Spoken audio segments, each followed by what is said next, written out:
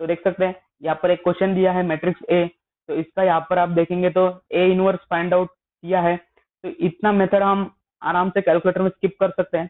तो देखते हैं कैसे तो सबसे पहले मोड सिक्स फिर वन थ्री इंटू थ्री के लिए वन तो मैट्रिक्स ए इसमें फिल कर लेंगे। क्या है? One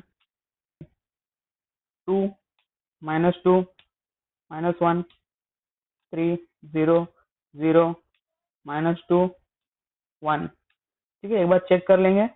One, two minus two minus one three zero zero minus two one ठीक है, एक बार अपना मैट्रिक्स फिल कर लिया ना तो आपका काम हो गया। फिर ए सी प्रेस कीजिए। फिर स्विफ्ट फोर अब मैट्रिक्स ए फिल किया था, इसलिए थ्री मैट्रिक्स ए टाइप कर लिया। यहाँ पर आप ध्यान से देखेंगे तो आपको एक्स इनवर्स का बटन मिलेगा।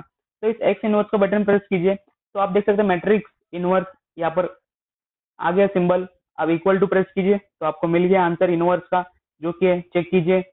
करेक्ट आया three two six one one two two two five ठीक है? करेक्ट आ गया हमें आंसर एक और चीज़ मैं आपको बताता हूँ।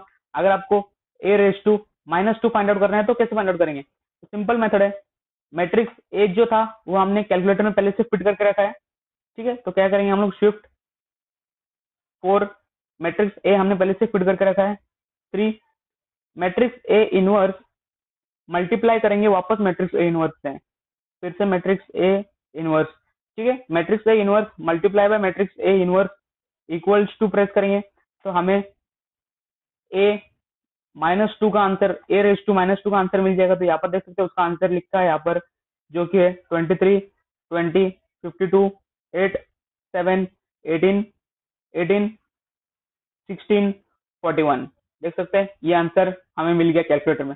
That's all thank you for watching video पसंद आए तो लाइक कीजिए. नहीं पसंद आए तो डिसलाइक कीजिए और हमारे चैनल को सब्सक्राइब कीजिए. Thank you